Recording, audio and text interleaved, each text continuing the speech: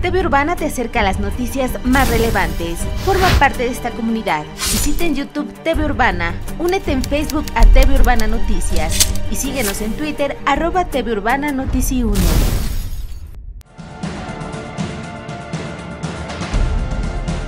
Autoridades municipales y estatales conmemoraron el 204 aniversario de la primera edición del Ilustrador Nacional, primer periódico insurgente de la entidad, cuyo origen se dio en este lugar, Sultepec.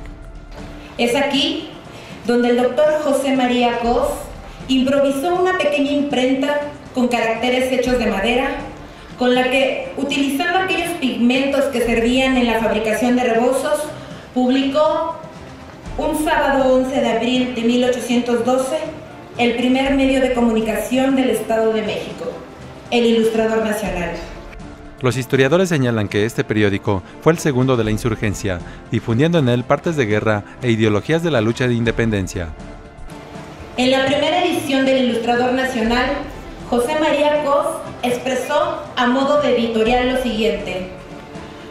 La prensa se contrae por ahora a poner en claro las relaciones interiores de la nación por él sabréis a fondo las pretensiones de la nación en la actual guerra, sus motivos y circunstancias y la justicia de nuestra causa.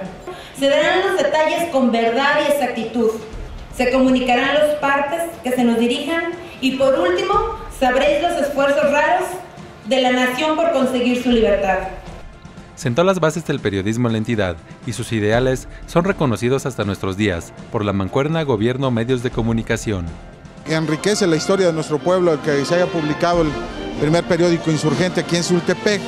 Bueno, José María Cos, bueno, pues ustedes lo escucharon, es un zacatecano, pero que llegó aquí a hacer esa publicación en aquellos momentos cuando eh, pues era, era andar corriendo de un lado para otro, y bueno, pues enaltece la historia de este gran pueblo.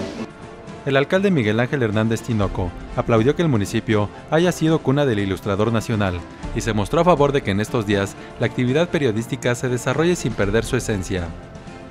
COS con todas las limitaciones hizo su publicación, ustedes hoy tienen toda la tecnología de punta y que esa tecnología bueno, sea, sea aprovechada para bien, que la comunicación hoy sea como debe ser, transparente también para que, como lo decía quien transmitió el mensaje del gobernador del estado, para que en el orden público también se puedan corregir muchas cosas. Yo creo que es, es, es una gran oportunidad. José Antonio Valencia, TV Urbana Noticias.